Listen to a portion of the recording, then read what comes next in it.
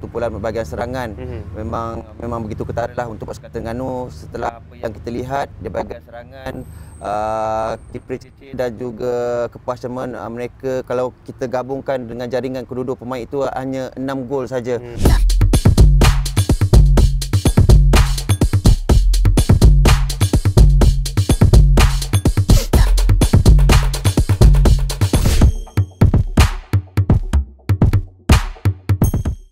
Assalamualaikum, salam sejahtera. Berjumpa kita di segmen kedua pada episod kali ini di mana kita akan terus bersama dengan Rudi Ramli bekas pengemasaan dan juga panelisis Liga Malaysia untuk musim ini.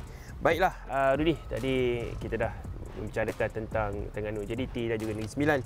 Uh, untuk topik utama kita kali ini adalah mengenai pasukan Sabah FC. Agak mengejutkan nampaknya Datuk Ong Kin Sui uh, hadir ke bumi Sabah. Tetapi orang kata transformasi dia memang lain macam sikit lah. Di mana season lepas kita dapat Sabah hanya sekadar menjadi tim uh, di relegation battle. Tapi sekarang ini mereka dalam slot yang cukup baik berada dalam kelompok tiga terbaik.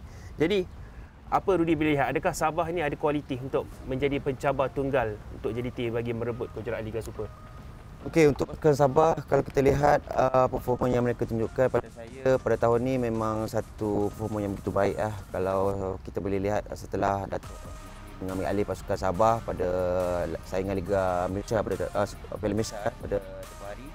Uh, dan kita lihat ada uh, orang kata satu pemain yang begitu baik ah performa begitu baik. Dan kalau kita tengok untuk tahun ini memang betul satu uh, kata transform yang betul baik ah dilakukan hmm. oleh Datuk OKCB kerana membawa masuk pemain-pemain yang kata berpengalaman seperti Batu Bakhtia, uh, Rizal Ghazali dan uh, Batu Ifan Fazal uh, ramai lagi eh hmm. pemain-pemain yang saya rasa yang di bawah uh, apa didikan beliau yang dibawa ke pasukan Sabah dan tetapi uh, kalau kita tengok pasukan Sabah mereka bermain dengan betul baik hmm. uh, rancangan yang diaturkan oleh uh, Datuk Ongkiswi memang menjadi untuk setakat ini setelah uh, mereka dalam um, 15 perlawanan saya uh, mereka berjaya di tempat kedua ya, berbeza pada tahun lepas uh, mereka berada tempat ke-9 liga hmm. sudah semestinya eh kalau kita tengok untuk pasukan Sabah ini satu uh, performa yang betul baik uh, kalau kita uh, gabungan pemain muda pemain senior itu yang menyebabkan pasukan Sabah yang berada sekarang hmm.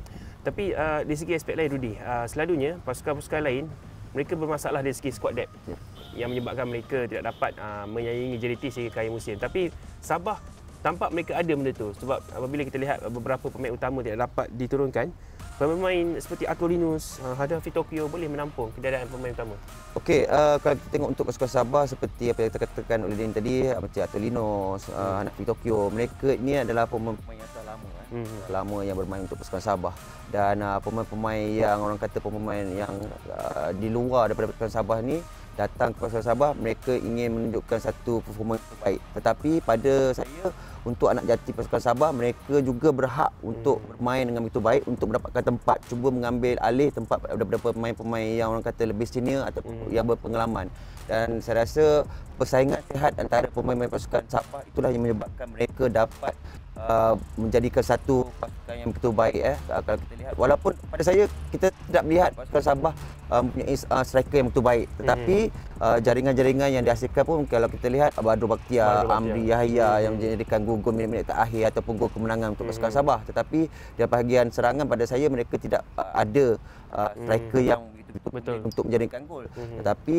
uh, Datuk Ong percaya eh dengan pemain seperti Badru Amri memberikan mereka orang kata uh, kebebasan hmm. untuk bermain dalam Pak dalam isu. Ya betul Pak Tisu. Hmm. Kalau kita dapat Tisu pemain pertahanan tetapi beliau boleh ah. menjadi ganggu untuk pasukan Sabah dan ini satu-satu uh, tanda yang positif untuk pasukan Sabah tapi seandainya mereka ingin pergi jauh saya melihat pasukan Sabah mereka boleh dapat dapatkan satu striker yang betul baik hmm. dan saya rasa pasukan Sabah akan menjadi lebih baik.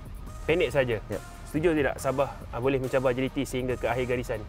Saya rasa uh, Sabah boleh kerana Sabah boleh, eh? lihat uh, yang ada mereka boleh menyaingi pasukan JDT. Baik, okey. Baiklah, untuk topik satu lagi yang terakhir, kita akan berkatakan tentang PJ City. Di mana sebelum ini uh, mereka berjaya bertahan dengan menggunakan 100% pemain tempatan. Tetapi sekarang ini sudah terbalik sikit, ya. Rudi. Mana 11 perlawanan mereka tak menang. Uh, hanya mencatatkan 6 kemenangan seri dan 5 kekalahan. Jadi, yakini lokal. Masih relevan untuk Rudi? Sudah semestinya pasukan City perlu uh, menggunakan uh, pemain import kerana walaupun uh, kita lihat saingan Liga Super pada tahun lepas mereka berada di tangga ketujuh Liga. Mm-hmm. Uh, tapi pada musim ini mereka berada tangga ke-11 ini sedikit membimbangkan untuk pasukan City dan kita juga uh, pemerhati bola sepak ingin uh, memberi uh, kata ingin melihatlah adakah pasukan City ini dapat bertahan menggunakan pemain uh, lokal saja kerana uh, memang betul lah di awal uh, orang kata uh, penubuhan pasukan City ini tanpa pemain import mereka berhasil betul baik eh tapi di awal-awal uh, saingan Liga Super dalam uh, tahun ini mereka menunjukkan satu performa yang betul baik kerana kita tahu mungkin dalam uh, round pertama hmm. pasukan belum lagi bersedia tapi ketika itulah pasukan PJ City mereka cuba untuk mencuri mata hmm. dan hasilnya di awal-awal perlawanan mereka berjaya menewaskan pasukan uh, Terengganu hmm. dan pasukan-pasukan yang besar dan selepas itu barulah kita lihat uh, performa mereka kurang hmm. untuk uh, mereka memberikan saingan walaupun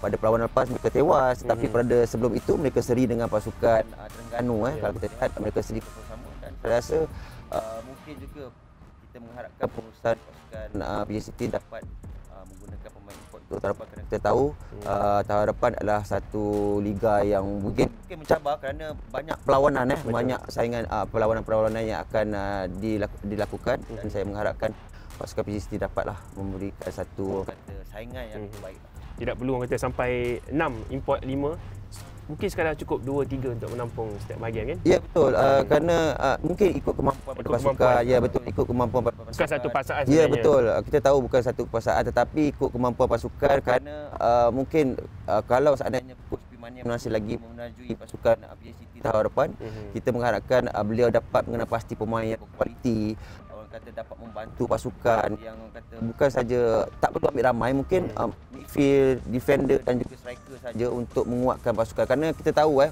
pasukan PJ City pada saya uh, mereka mempunyai pemain kualiti yang betul baik eh. uh, pemain-pemain muda campur dengan pemain-pemain yang senior seperti Mahali uh, Karim Haimin di situ kan yang orang kata Guru Sami dan inilah yang membentukkan pasukan PJ City dengan betul baik nanti. Okey. Terima kasih banyak Rudi atas pandangan anda. Jadi sampai sini saja untuk Liga M Extra.